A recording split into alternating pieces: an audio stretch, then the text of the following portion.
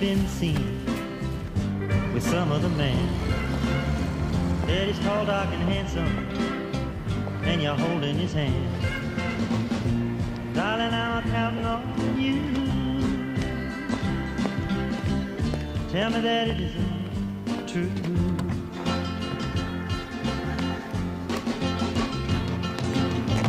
I know that some other man is holding you tight. It hurts me all over. It doesn't seem right. Ah, one large malt. Right, Sir Richard?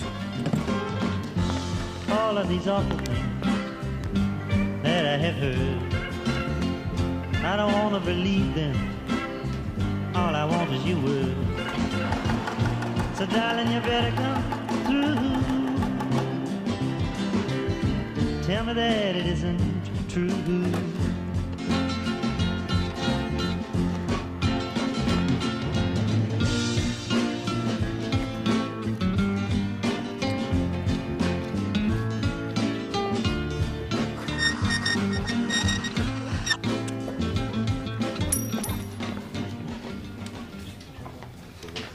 Can I give you this, Mr. Blaketon? You know I'm always on the lookout for news stories. Running a busy pub like this, you must hear of quite a few goings on. Perhaps you could let me know any juicy ones. What makes you think I'll do that, Mr. Downing? Because I pay for good tip-offs. I'll make it worth your while, okay? He's a nasty piece of work. He'll be getting no tip-offs out of me. Nor me, after what he did to Bernie a few weeks ago. Uh, 20 Park Drive, please. So, Constable, what's happening in the great big wicked world of Aidensfield? Very little, I hope. Of a criminal nature, anyway. That's the spirit. Never let a crime come between you and your next cup of tea. Right?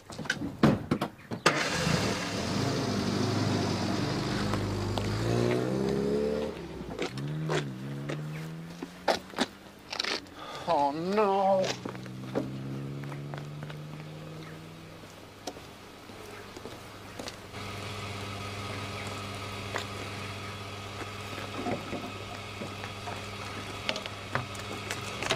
Good God. I don't know how anybody even had time to do it. I couldn't have been away for two minutes, boss. Don't suppose you saw anything, officer? Uh, no, sir. Well, don't just stand there, man.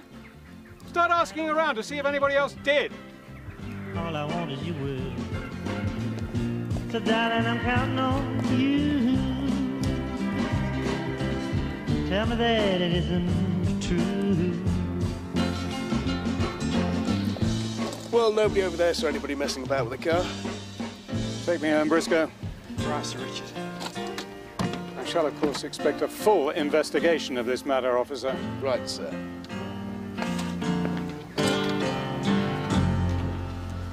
Thanks, Gina. Thanks, Peg. Ta. Of course, you know who that is, don't you? Should I?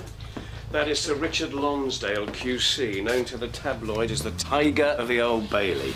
Recently retired, and he and his wife have moved back to Weatherdale Hall. Really? I better see if anyone here saw anything then. Yeah, good idea.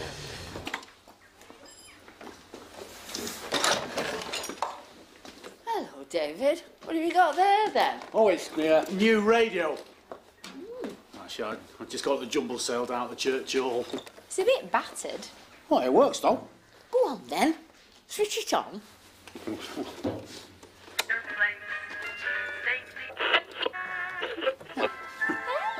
reckon you got yourself a bit of a bargain there, David. Yeah, I like a bit of radio myself, for a change. Morning story. And, of course, everything on the third programme. What other stations can you get? Uh, Where are you, Rob? Over.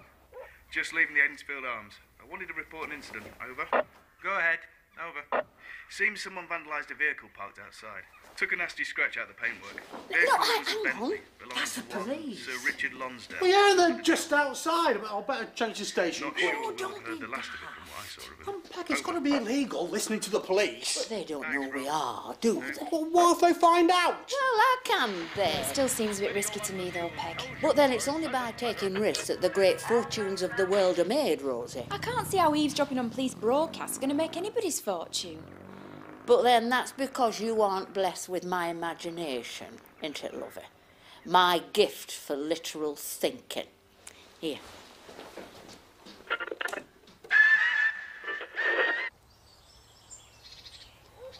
So, did you report it to the police? Member of the local plod promised to make a few inquiries. I'm not holding my breath. In my experience, they're worse than useless, these country coppers. So touching, though, Richard. Your faith in your fellow human beings. Will you still be wanting to go for your usual ride, Sir Richard? Of course. But first, I must make a phone call.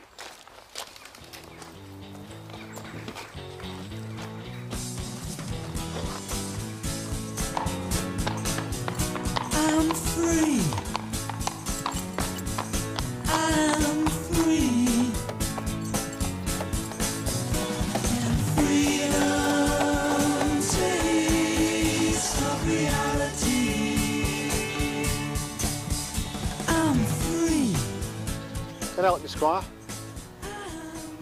I was just admiring the house. Only you do realise this is private property, don't you? I'm sorry, I'm afraid I didn't. Some house, eh?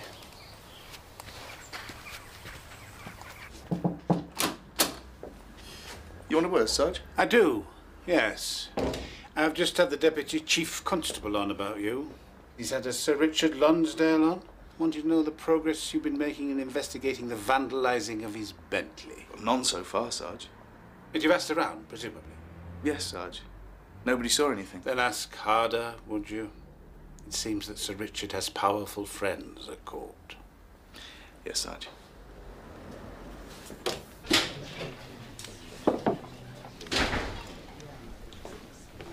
Find a bitter, please. Hello again. Oh, hello. Can I get you one? Yeah, go on then. Yeah, I'll have an half with you.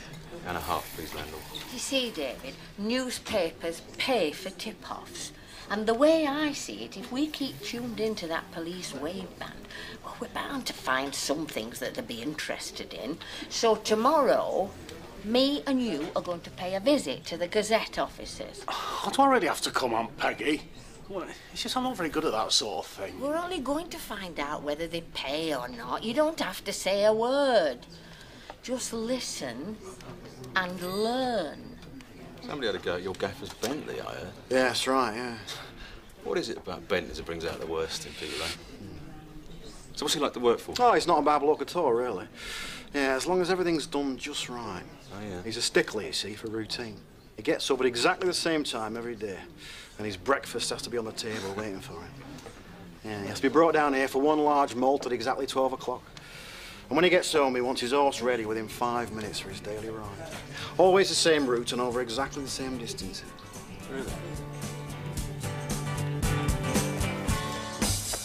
I'm free. I'm free. And I'm waiting for you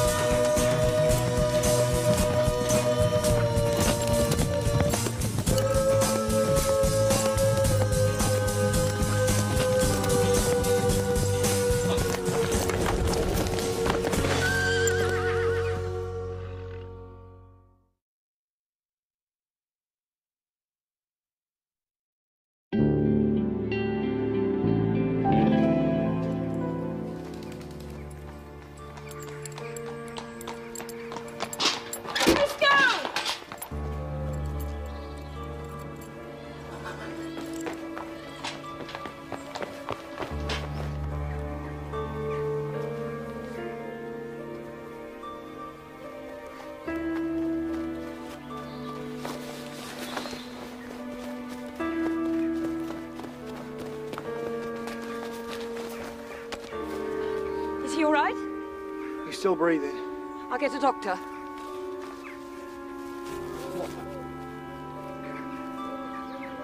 Rob, we've had a report of a riding accident at Weatherdale Hall. Sounds like your friend. Sir Richard. Over. Has Helen been alerted? Over. She alerted us. Over. Okay, on my way. Out. Well, David, it looks like we're in business. Stay right where you are, Sir Richard, until the ambulance arrives. Should be here any moment. How was he? There's no loss of sensation, but I'll have to get him checked back at the hospital. So he must have been thrown then. Hardly.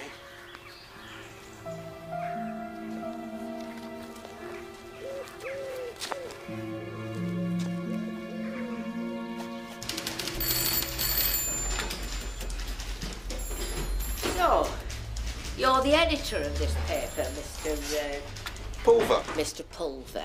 Good. Well, now, me and my nephew may be able to offer you a service. Very interesting. Now, as I understand it, you pay for tip-offs, right? As long as they turn out to be reliable. No problem on that score. And can I ask you how you obtained this information? Oh, come on. You, of all people, must realise that we journalists have to protect our sources. Excuse me a minute.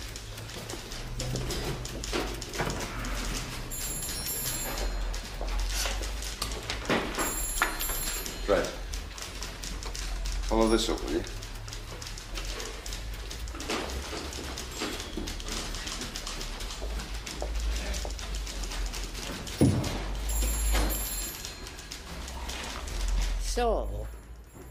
Much do you pay?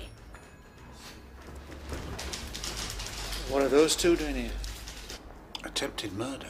If that rope had caught him full in the throat, it would definitely have broken his neck. I presume he's been taken to hospital. Yeah. You best get yourself over there.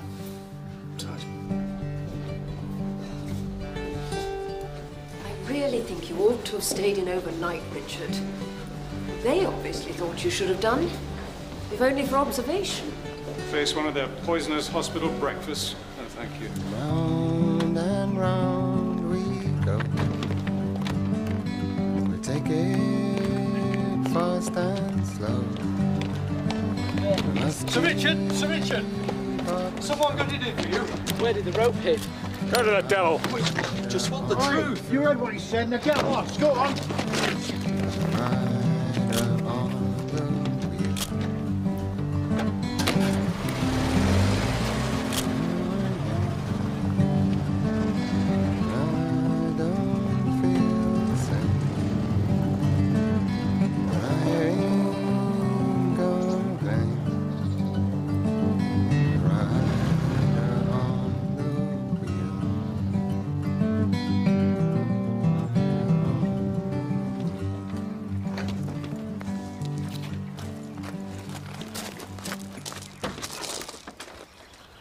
have a word, please, sir? Matter of fact, I want a word with you.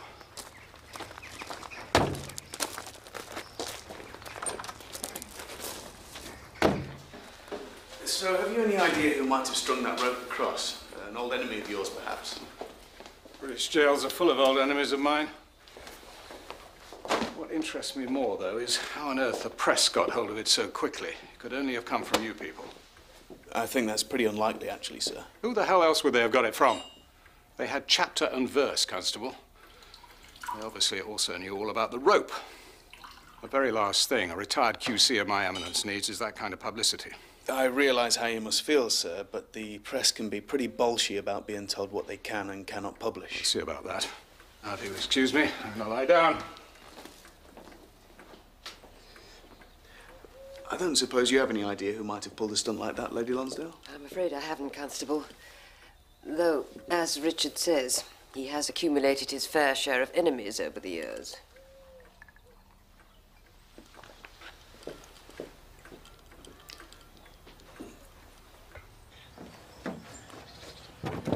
You're Sir Richard's regular chauffeur, right? Yeah, chauffeur, odd job man, you name it, I'll do it. I don't suppose you've seen anyone hanging around the place past few days, have you? Yeah, it's funny you should mention that. There was a bloke looking at the house only yesterday. And when I bumped into him down the Aidensfield Arms last night, he were quizzing me about Sir Richard. Do you know his name?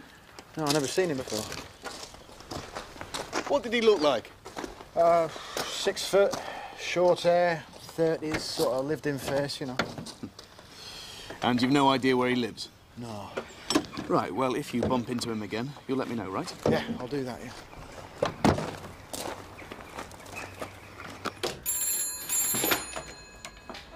For the police station.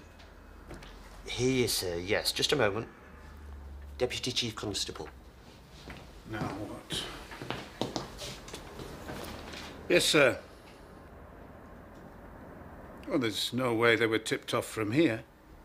Although we did have a reporter call in about it. Yes, of course. I'll phone the editor right away. Yes, sir. This Sir Richard Lonsdale QC is beginning to get right up my nose. You didn't field any questions from the press about this, did you, Younger? No, Sergeant. Well, maybe somebody from the hospital tipped them off. Well, they were damn quick if they did. Anyway, get me the editor of the Gazette on the line, would you? Much good, mate. Do me. Right, Sarge. Oh, Younger. Put the kettle on.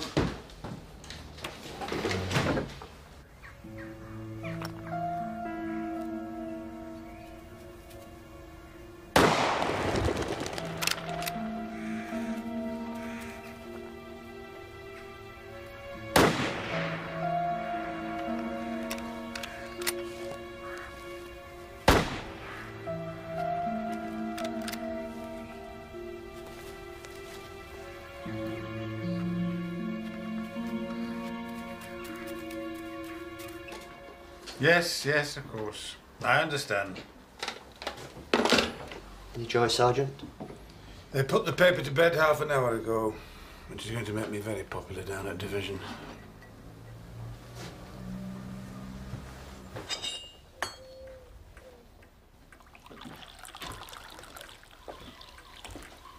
Briscoe tells me they've just collected the Bentley to have that scratch repaired. So I'm going to have to borrow your car for a couple of days. Do you need it now? Yes, I thought I'd go down to the club. Have a leisurely steam. Well, you won't find it very comfortable with that collar on. I expect I'll manage. Thank you.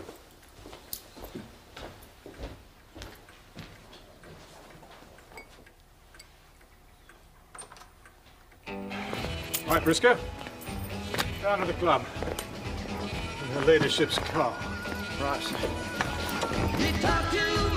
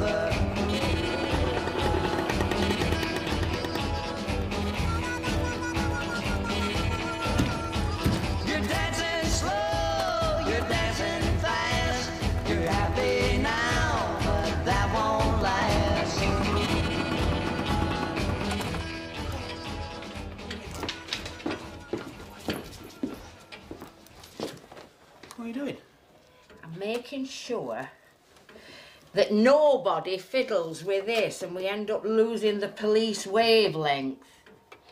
Well, well, what happens if you want to listen to Morning Story or, or the third programme? Life's about priorities. And at present, our first priority is making a bob or two.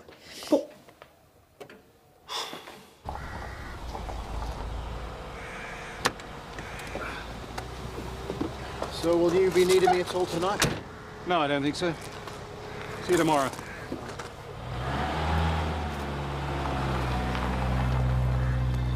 Hello, Dickie. Long time no see.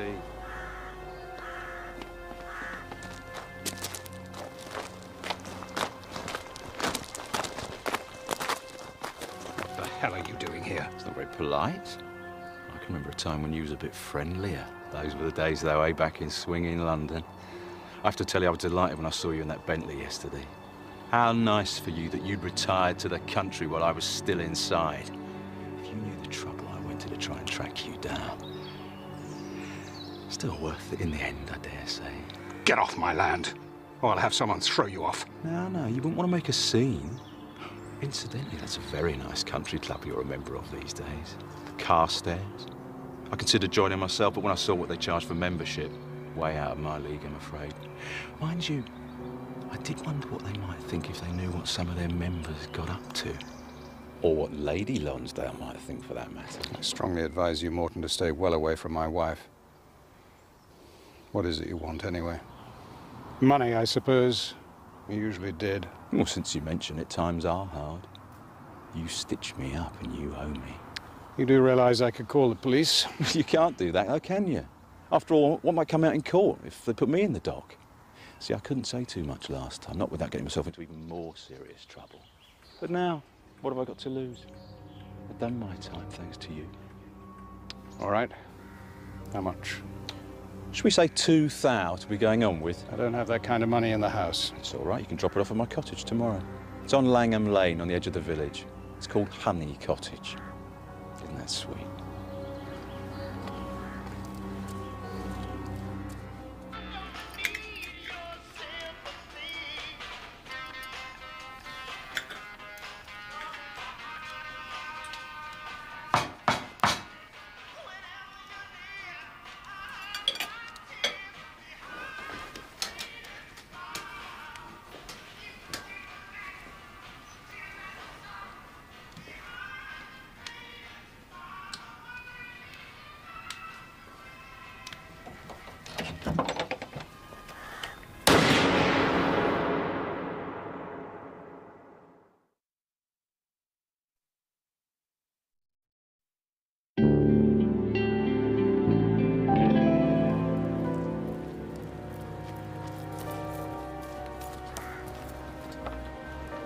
Joke here!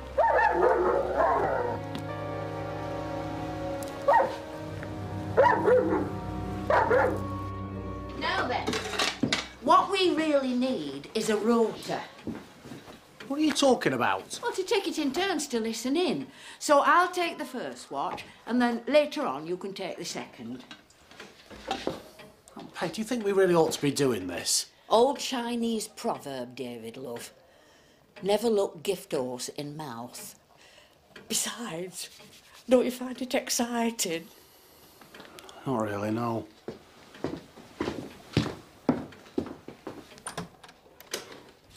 And what's the address of this cottage, sir? Yeah, I know that. If you won't mind waiting there for me, I'll be five minutes.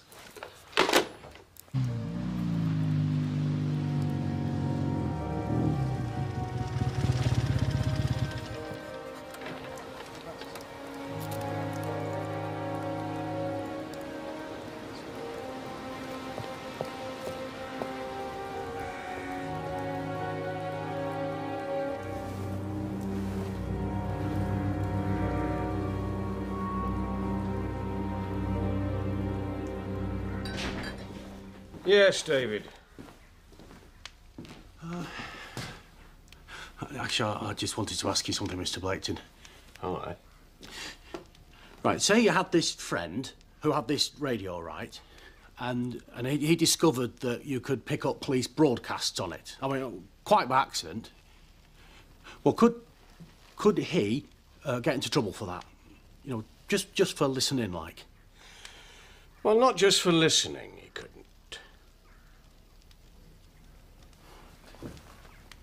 So what's the score? Over? Has to be murder, Sarge. He's been shot in the chest. Over. So when do you reckon it might have happened? Over? Well, there's a half-eaten dinner on the table, so I'd say last night. Over.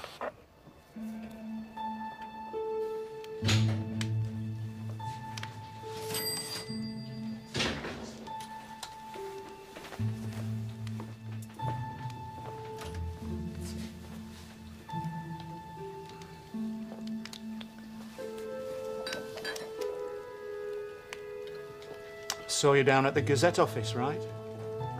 So? So can I buy you a drink? Uh, no, thanks. I'm very particular about who I drink with. I'll tell you something else for free. Me and my Aunt Peggy are going to put you out of business. Oh, are you? Yeah. Because we've got this radio that picks up police broadcasts, right? So there's nothing that goes on round here that we don't hear about first. Really?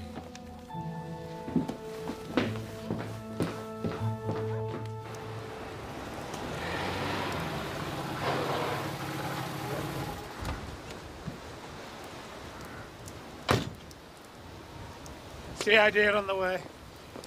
Just found this on the floor, sir. You better put it back where you found it. And look what else I found.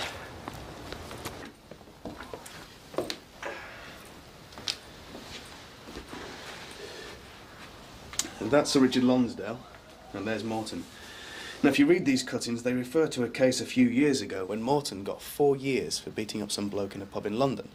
Now, according to one of these, Sir Richard Lonsdale was prosecuting, and they reckon it was the ferocity of his summing up that gave Morton such a savage sentence. Well, that gives him a motive. Is it feasible that he set the ambush up? Seems a strong possibility, Sarge, yes. Right. Get over to Weatherdale Hall. See what Sir Richard has to say about all this. Sarge.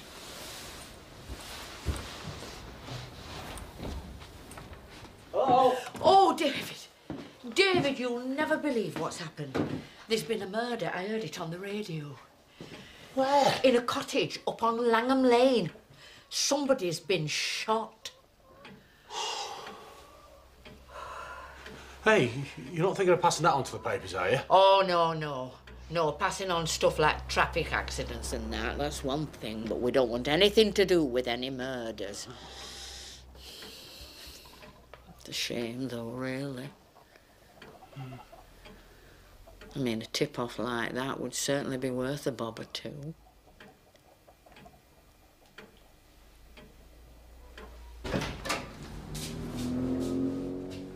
Yes, sir?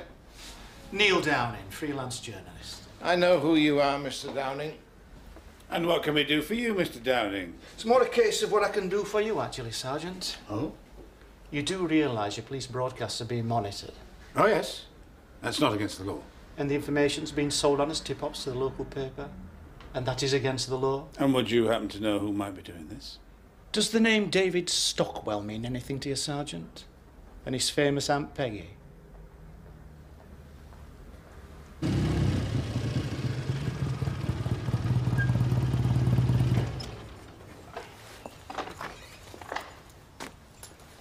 Mr. Briscoe. Yes, Constable. The man who was asking questions about Sir Richard the other day. I'll need you to come down to the station later on to ID a photograph of him. Why, has there been some further development? We had a murder last night. A murder? Is Sir Richard in? Yeah, he's round the back. In fact, that's him now, keeping down the rabbit population. Thanks.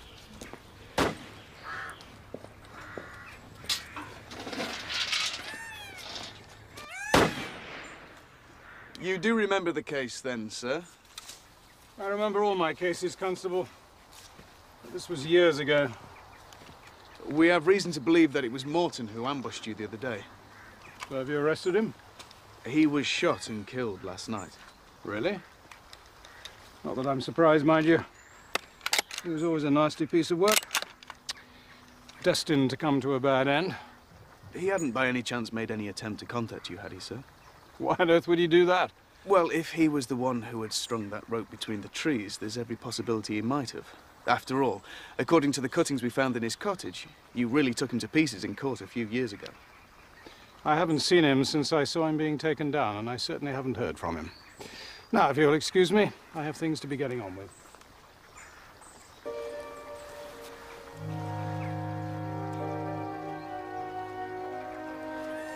Excuse me, sir.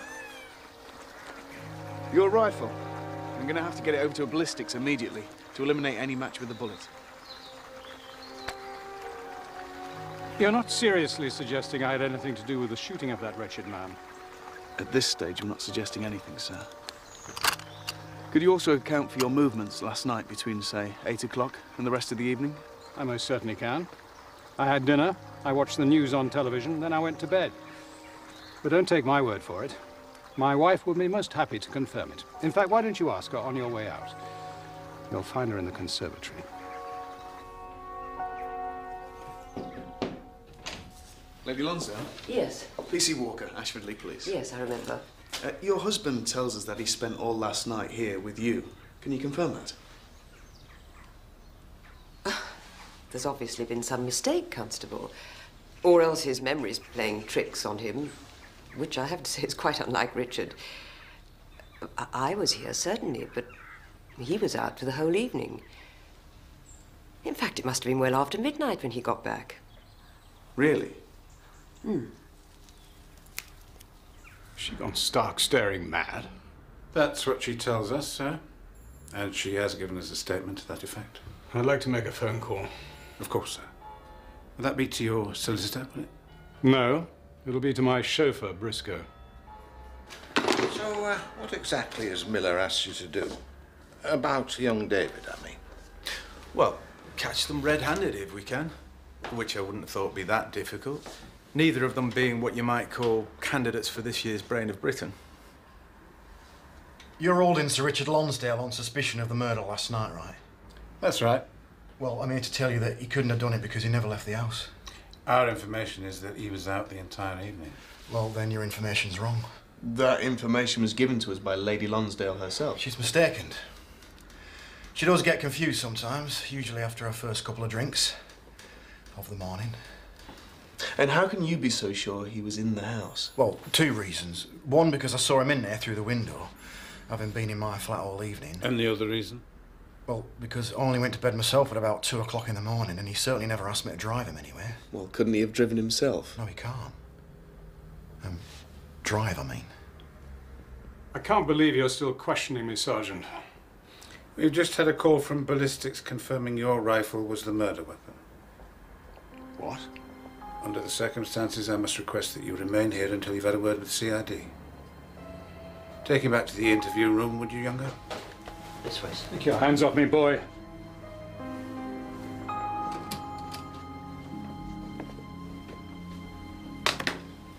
Somebody's lying. Could even be Briscoe, to give his boss an alibi. Hell of a thing to do, though, in a murder case. And Sir Richard doesn't exactly strike me as being the kind of boss who'd inspire that kind of loyalty. Or me. So why's his wife lying? If she is lying. Well, at least we've got the murder weapon side. To which Sir Richard had access, as did his wife, presumably. And Briscoe, since he's living on the premises. Now, it seems to me, Sarge, that the bit of the puzzle that's missing is the motive. I mean, why would any of the three of them want to kill Morton? I wonder whether we should have another look at Morton's cottage, see if we missed anything. Wouldn't do any harm, I suppose. Once I hit mountains in the palm of my hand, and rivers that ran through every day. That must have been mad.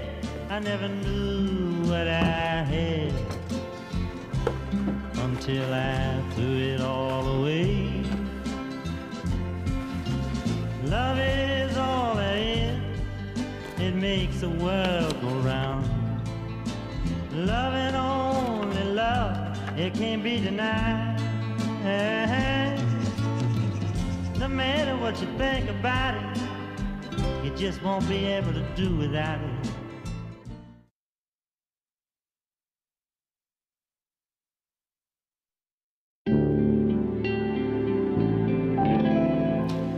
How well did you know Morton, Sir Richard?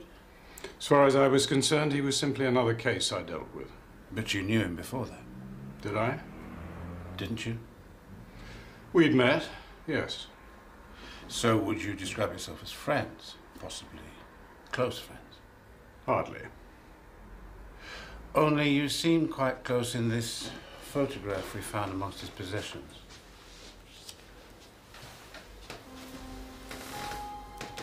I mean, I wouldn't have thought many people would feel free to call you Dickie, especially somebody like Morton. And the other thing that's baffling me is how you ended up ripping him apart in court like that, if you were so close. Unless there'd been a, a falling out between the two of you. I think, Sergeant, I should like to have my solicitor present. Of course. So come on, whose idea was it? Well, yours, I suppose. I'm sorry, I don't know what you're on about. I'm talking about this new cottage industry that you've just launched. Listening into police broadcasts and tipping off the local paper for money. I'm sorry. I'm afraid I still don't know what you're on about. Listen, Peggy, I'm trying to do you a favour. I'm laying my head on the block. I'm not doing it for your sake, but certainly for his. You've been reported. Oh, bye. A certain journalist who resented you muscling in on his patch. Was it Downing? Who else? Well, how did he find out? So my information is, is the little birdie told him. Isn't that so, David? Oh, David, you didn't. Well, I didn't mean to. Which is after what he did to Bernie, I just... Well, he just got me going, that's all. It's my own fault, I suppose, for involving him in this in the first place. Now listen. Tonight there's going to be a broadcast about a big job that's coming up. Only there isn't a job. It's been set up to catch you two red-handed. So whatever you hear on the radio, don't go anywhere near it, or Miller will have you. Why did you tell us your husband was out Tuesday night? According to Briscoe, you were both in all evening. Well, how would Briscoe know? He wasn't here. Wasn't he? No, he was out the entire evening. Must have been the small hours before he got back. I heard the car driving up. My car. He claims he was in all evening. His word against mine. Have you ever seen this before?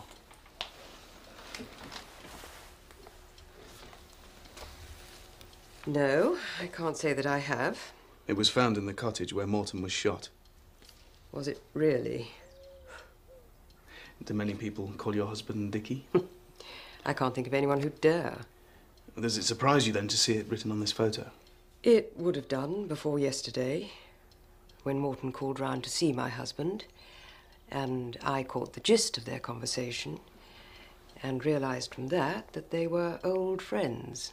Well, rather more than old friends. You never realized until then. Well, I had an idea that Richard had some sort of double life, but I never knew just what it was he got up to. The amazing thing was how brazen he was when I challenged him about it. He told me the whole story. How Morton had picked a fight with the new lover Richard had found. Oh, someone younger, of course. And prettier, presumably. Beat him within an inch of his life. And Richard got his revenge by representing the other boy in court, giving one of his legendary performances, which resulted in Morton being given a quite savage sentence. So, was your husband here Tuesday night, or wasn't he? Yes, Constable, he was here. Then why did you tell us he wasn't? I suppose I was taking my revenge. After all, it isn't every day that a wife finds out that for the last 20 years of her marriage, all she's been providing is cover for her husband's real sexual proclivities. All right, Younger. There's your script. Precisely six o'clock, you make your first announcement. Bellamy, you got the address? Yes, Sarge. Be there in good time. Will I get into trouble for lying to you? Under the circumstances, I'll see what I can do, but we'll have to see what Sergeant Miller says. Has Briscoe worked for you long? Not long, no.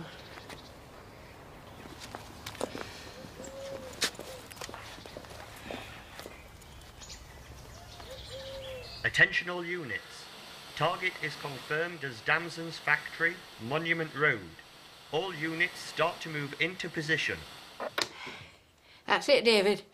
The dummy broadcast. Right, now, you're not thinking of trying to sell that, are you? What I'm thinking, David, is if there's one thing I can't stand, it's being bested by the likes of Downing. And what's more, I've just had a very malicious idea concerning that gentleman. Well, what are you going to do? You said that on the night of the murder you were here all evening. That's right, yeah. According to Lady Lonsdale, you were out all evening and didn't get back to the early hours. Well, she's obviously lying again. Or been hitting the bottle even harder than usual. Then there's the question of the fingerprints. What fingerprints? On the stock of the rifle? Which rifle? Sir Richard's. You see, we were expecting to find his dabs on it, but the others, well, they're a bit more puzzling. So I'd like to ask you to come to the station and give me a set of yours. Right. I'll get my jacket.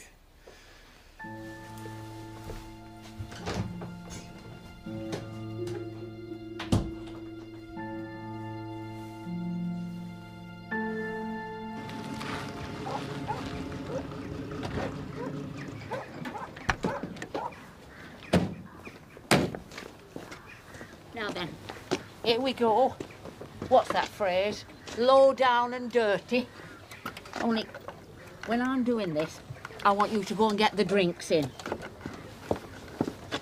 Preferably next to our friend, Mr. Downing. Clothes of sand have covered your face, given you meaning, taken my place. So make your way on down to the sea. Something has taken you so far.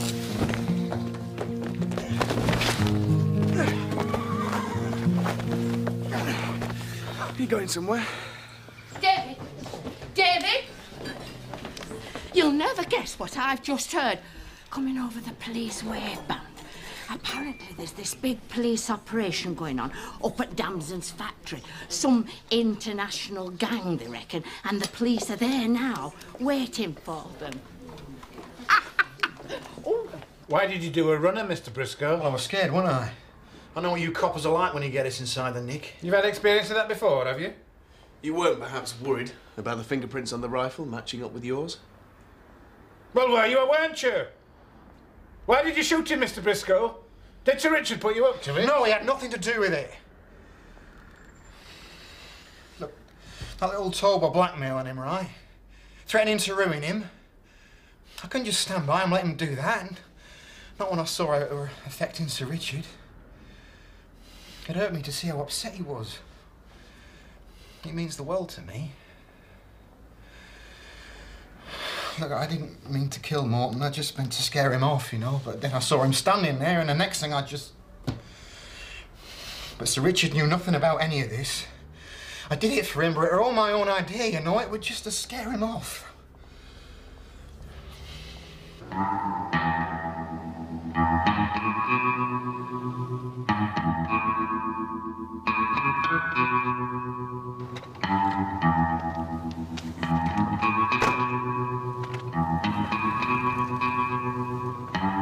Mr. Downing. Fancy meeting you here. I was passing. Saw your car. Wondered what was going on. Seems to be a very peculiar sound coming from your boot. Do you know? That sounds like a police broadcast. I repeat, the foxes are approaching the coop. I never saw that before in my life. That's what they all say. Isn't it, Mr. Downing?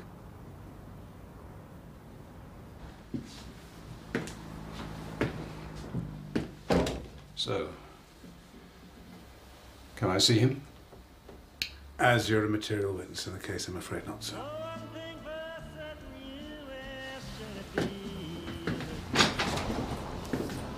Walker? I could have sworn that the forensic report said that the rifle was clean of fingerprints. Really, Sarge? Good job Briscoe doesn't get a copy of that report then. There you go. I'll get these. Out of your ill-gotten gains, I suppose. Now then, Oscar. So, who are we drinking to? Well, how how about Mr. Downing? Now then, David, tomorrow me and you are going to do a bit of shopping. Well, really, what for? To get you a new radio, of course.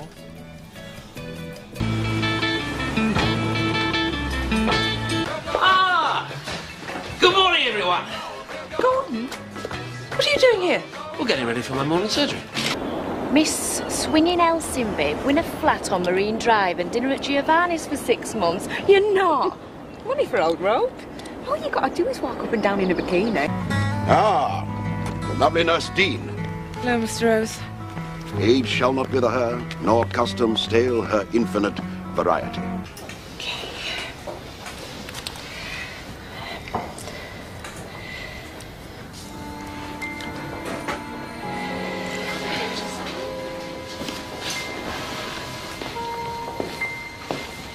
Thank you, nurse. Now, you'll be so much more comfortable in a minute.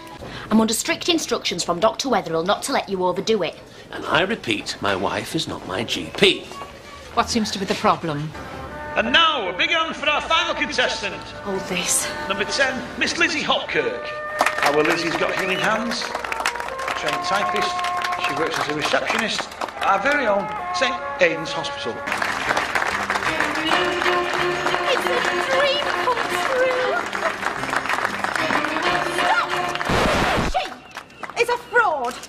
Loser, there's always one. She can't be Miss Elsinby.